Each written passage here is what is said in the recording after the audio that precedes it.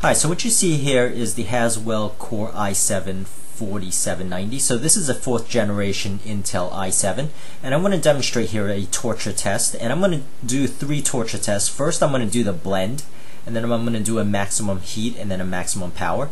So this blend is going to raise the core temperature. So uh, in the upper middle half of the screen you'll see that the core temperature is going to start rising and in the bottom middle of the screen, you'll see the CPU usage is at 100% uh, from the eight threads that are running for each of the eight logical processors on the i7 here. And what I really want to demonstrate here is I have a i7 fourth generation and this seems to have a lower core temperature when it is stressed than the i7 6th generation 6700. So you could see in my other videos the 6700 it gets really stressed where the temperature itself goes up to 90 degrees Celsius which is uh, fairly hot. So right now I'm going to go and I'm going to do the maximum heat here for the torture test and you'll see that the temperature for the I 74790 Haswell, fourth generation, is very much controlled. You know, it, it doesn't heat up as badly as the sixth generation Core i7.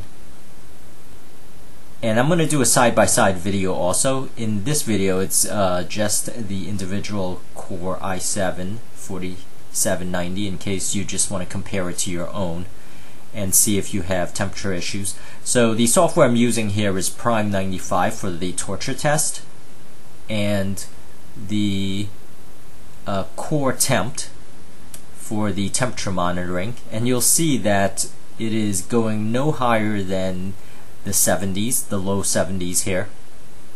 So the core temperature right now despite the maximum heat test of the torture test is only you know 73 degrees 74 degrees Celsius.